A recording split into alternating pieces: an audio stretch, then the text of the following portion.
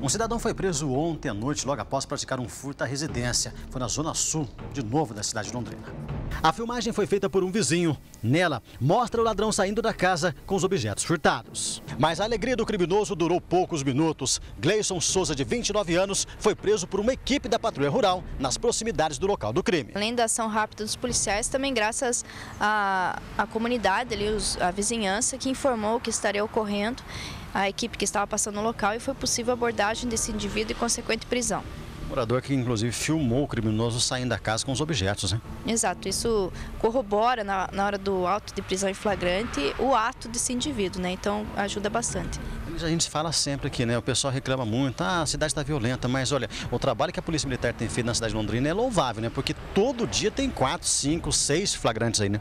Exato, e flagrantes das mais diversas naturezas, né? O pessoal está na rua, está com vontade de trabalhar, realiza abordagens constantes e essas abordagens resultam nessas prisões. O tal do Gleison, autuado então. Autuado em flagrante. Os objetos todos recuperados? Objetos recuperados e, na sequência, entregues à vítima. O acusado já tinha sido preso no último dia 10, logo após um furto nesse comércio em frente à Santa Casa. Gleison ficou poucos dias na cadeia e agora foi preso novamente, praticando um furto à residência no Jardim Igapó. Gosta da cadeia, hein? Gosta, cara. É o cara que é acostumado ao cometimento de crime. Não adianta, você vai colocar um cara desse na, na, nas ruas, ele vai voltar a delinquir.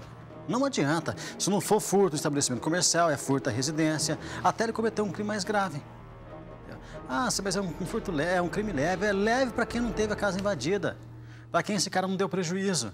No estabelecimento comercial em frente à Santa Casa, que foi dito aí na matéria, ele arrebentou com o comércio do, do, do, do, dono ali. Ele arrebentou o comércio, praticou vários furtos. Estava furtando chiclete, bala.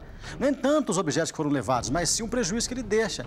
Na residência estava levando mais. Então, o que, é que vai acontecer? O cara não vai ficar muito tempo preso, daqui a pouco ele está na rua, ele vai continuar dando prejuízo para as pessoas de bem.